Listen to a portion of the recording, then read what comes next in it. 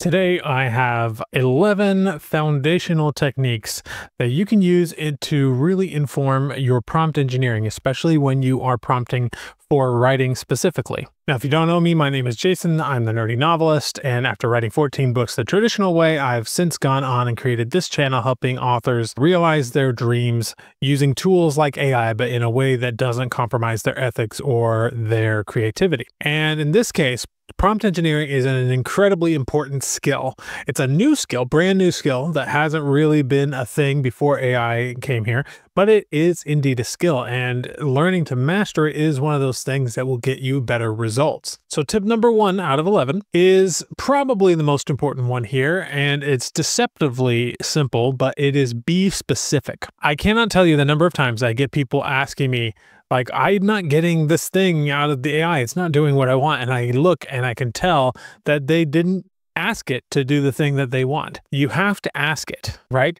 This is one of those things where AI is not like a ghostwriter. A ghostwriter could maybe infer a few things and just through their own understanding of storytelling could in just figure out what would make a good scene or good story based on your outline, right? But an AI can't do that unless what you want is specifically talked about in your prompting. And this is why people underestimate just how creative it, of a process it is to write with AI because you have to be specific. You have to be thinking of all of these things. You have to know what happens in the scene, what happens uh, in the book overall for your overall outline. You need to know the character character arc that the character goes through. The AI doesn't just know this stuff. It can't just make it all up. You have to inform it. And so that's why being specific is my number one tip because if you're not specific, you're not going to get anything close to what you want. And this is why I will go to my grave saying this, that it doesn't matter how good AI gets. AI plus a human, especially an AI plus a well-informed human, a really skilled human in the art of storytelling,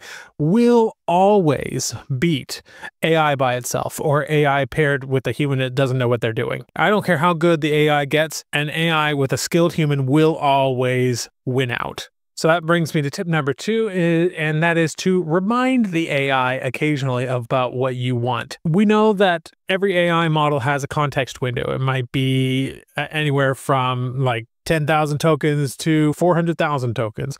It can be a wide range.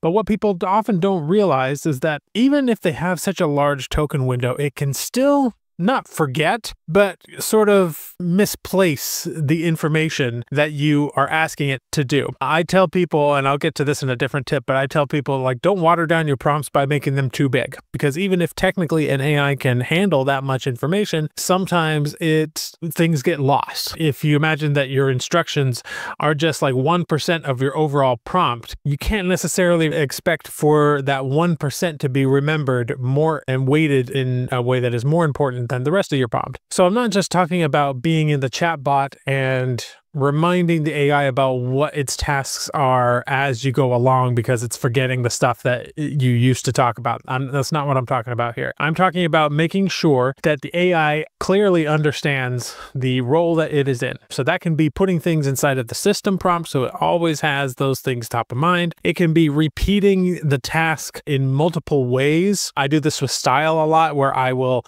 ask it to do something and I'll repeat the same instruction but like three times and phrased differently each time, because that way I'm really ensuring that the AI understands what it is I'm trying to get across. Number three, and this kind of goes along with the last one, is that less is usually more. What I see happen a lot is people put their entire book into their prompt. And first of all, you're going to significantly increase your cost for that. But the problem with putting an entire book or entire portions of your book inside of your prompt is that you're watering down the prompt. You're like creating a larger haystack to find the needle in. What is often more effective in this specific use case is to create a summary of your book. So if you have a whole book, let's say it's 75,000 words, and you want the AI to understand what happened in that book because maybe you're writing the sequel or something like that, a better way to do it, more succinct and easier for the AI to understand, is to create summaries of each chapter of that book so you have essentially an outline of what happened in that book. And then you include that outline, which will be smaller. It'll still be a lot of words, but it'll be significantly smaller than having the whole book in there. And when you do it that way, the AI will understand what you're looking for and what in the context of what happened in the previous book much better than if you just included the whole book. Plus, you'll save a little bit of money because putting a whole book inside of a prompt is expensive. This is one of the reasons why I'm a fan of Novelcrafter because Novelcrafter is a software that essentially does this for you where it will automatically filter out the stuff you don't need for the scene you're writing and it will bring in the stuff you do need. So it's really good at stuff like that. Tip number four is to use XML tags in your larger prompts. Even though everything I said about less is more in the last tip, I can typically still go up to maybe 20, 15, 20,000 words in a prompt and still be okay. But when you're getting into prompts that big, it really helps to break things down into little boxes that the AI can easily understand. And the best way to do that is with XML tags. This is actually a tip recommended by most of the actual developers of AI because most of these models were trained on a lot of web data and the web data is coded in HTML, which which uses XML tags, and that's how it's trained.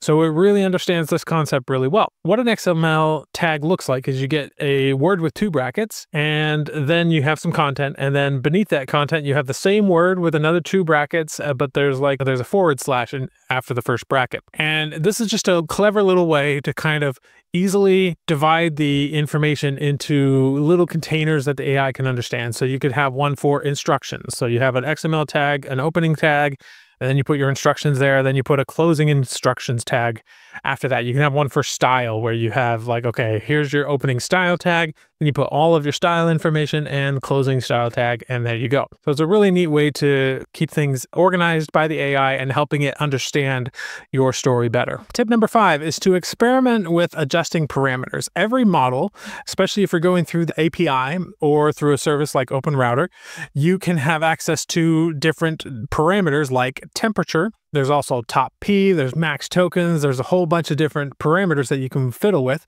You can't, by the way, fiddle with these inside of chatbots where it's just not allowed. And a lot of these parameters are actually really good at helping you find the results that you want. Sometimes you might want something that's a, a little bit more creative, a little bit more not sticking to the book. It goes, thinks out outside of the box a little bit. In that case, you might want to raise the temperature a little bit. Or maybe you want something that's that doesn't think outside of the box and sticks very closely to exactly what you ask it to do, in which case you might want to lower the temperature a little bit. Things like that can really make a difference, and most people do not play with them, and you really should if you're testing out what works and what doesn't. Tip number six is to experiment with different LLMs. So every large language model is different. Everyone has strengths and weaknesses. People ask me all the time, what's your favorite large language model? And while I do typically go to the Claude family as my overall favorites, I use different large language models all the time because there are different use cases where you might need some than others. Right now, I'm really enjoying GPT-5 for brainstorming and anything that requires just a hint more of creativity. But I still enjoy the Claude models for writing, and then I also like some of the Gemini models for editing. Everything is a little bit different. They have strengths and weaknesses, and you can learn some of that by following people like myself. But for the most part, you may want to spend a little time experimenting with different LLMs. You should also think about experimenting with different prompts for different LLMs, because using the exact same prompt might work for one, but won't work for another. And if you tweak the prompt, then it would suddenly start working better for that model. And this is just one of those soft skills in the AI writing space that I can't necessarily give you any hard and fast rules on how this works. It's just something that comes with experience. You start to get the vibe of what each model does and what it's good at and how you might be able to improve on it by changing your prompt. Because sometimes I'll get something out of an LLM and I'll be like, that's not really what I wanted, but I'll bet I, if I change the prompt this way, it would make it better. And it does. And that's the kind of thing that I can't really teach. Uh, it's just something you have to get used to. And playing around with these large language models, eventually you will get there. Most of the people inside of my community, link down below, by the way, have done this and are getting pretty good at it. Tip number seven goes along with what I just said, which is to test, test, test. Prompt engineering is not an exact science and it requires lots of iteration and improvement and testing. And I often get people coming to me and saying like, this doesn't work or that model didn't work for me. And I can instantly tell that they have not tested enough because so often, and, and this is especially true of a lot of the AI haters out there that say they can recognize AI slop immediately. I guarantee you that they can't. They're just looking at the stuff that is not well prompted. All you have to do is put a little bit more effort into your prompting and in testing it and improving it. And you can get something that doesn't sound anything like the so called AI slop that those people are looking at. So always be testing, whether you're testing your prompts, testing the LLMs, uh, testing with different parameters like this. This is probably one of the most important tips that I have for you. Tip number eight is to break your larger tasks into smaller steps. I mentioned putting an entire book inside of your prompt. And uh, that's something that's not very efficient with your prompting because you're trying to do too much. So let's say you want to create a summary of that book. Well, you could take that entire book, put it into a large language model and say, summarize this book chapter by chapter. But I've found that almost every time that I do this, even with some of the bigger large language models, it can't do it. The reason is, I mean, it'll give me something that roughly approximates a summary of the book, but it might miss chapters. It might get the order wrong. It might number the chapters incorrectly. Like it gets a lot wrong. And that's because you're asking it to do too much with a enormous watered down prompt. Instead, a better way to go is to take one chapter at a time and say, take this chapter, summarize it, give me character information, give me world building information, you know, have it sort of like list out all of this stuff. And you do that for every chapter. And once you have that uh, condensed version of information, it is much easier for the AI to say, okay, now create a summary of this character and their character arc in the story, create a summary of this world building element, create a timeline of events in the story because you have broken it down into smaller tasks and now it's capable of doing a lot much more efficiently than if you were to just go straight to the entire book and say, make me a story Bible out of this. It just doesn't work. Tip number nine goes back to a framework that I created. And when I initially created this, it was kind of like innovative and on the front lines of AI. These days, it's a little bit more simplistic, but it is absolutely an important principle to understand as you are going about and creating your prompts. And that is the FITS formula,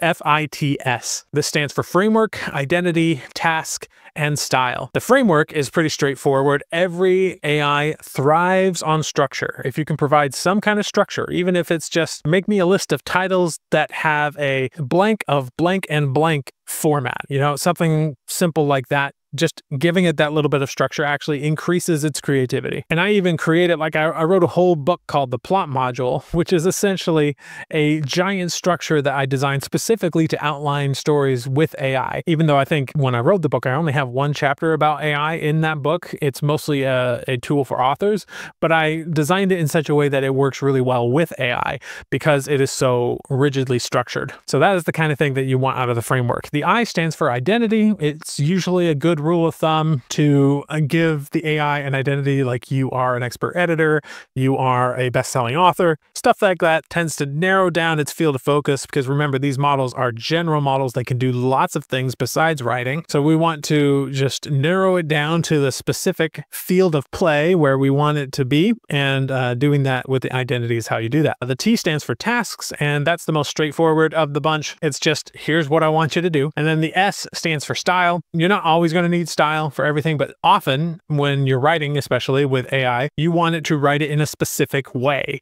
And the instructions on how to write in a specific way is what your style looks like. It can be everything from like avoid show, don't tell, or rather do show, don't tell, to actually giving it like 5,000 words of your own writing to act as a model for it to imitate, that sort of thing. So that's the FITS framework. Another framework I developed is called the fractal technique, which I use quite consistently myself and is kind of the basis for most of the prompting and how that all works just from a global level.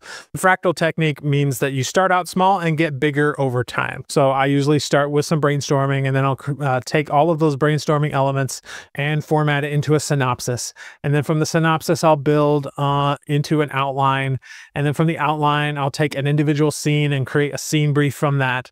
And then from the scene brief, I'll actually take that and write the whole thing. And that's basically how the fractal technique works. You just start small and you slowly work your way up bigger and bigger and bigger until you've got the whole thing. This kind of goes along with that idea of breaking things down into smaller tasks. All right, last but not least, tip number 11 is to spend time actually interacting with the AI. Don't just expect your your prompts to be the be all and end all of writing with AI because sometimes you get the best results after going back and forth a bit with the AI. This is especially true if you're using a chat bot where it's easier to kind of go back and forth in that way, where you might be spending more time in the brainstorming and outlining stages inside of the chatbot. I admittedly don't use this technique as much when I'm actually writing the story, but when I'm outlining or brainstorming, I could be like, okay, yeah, I like that idea, but can we add a little bit more of this in there? And uh, maybe can you rewrite it, it uh, with this and this and this? You can ask it questions, you can ask for follow ups, you can ask it to rewrite with uh, different feedback, and you get this feedback loop that can really, by the time you're done with it, create something that's entirely unique. If you're just giving it one prompt, what happens is the AI looks at that one prompt and it creates a probability model of what would be the most likely thing to say given that prompt. And that's fine, um, but it can be very generic and have problems with it. And you might also get the same results again if you tried the same thing. But if you're going back and forth like this, you're adding quite a bit more of your own humanness and your own creativity in there that just makes it unique in a way that you're not going to really come across those results again unless you walked through the exact same process blow by blow. And even then, it's unlikely that you'd get quite the same results. And so you get a much more organic and a much more interesting output when you do it this way. And those are my 11 basic prompt engineering techniques. If this was helpful for you, I'd invite you to check out our one membership down below. And there's a silver membership if you want to check that out. It's a small one time fee that looks good for you, you can uh, move up to the gold membership, which right now I'm designing to be the single fastest way to get to 20 books for every author who goes through the program. So if that sounds interesting to you, go ahead and check that out down below and I'll see you there.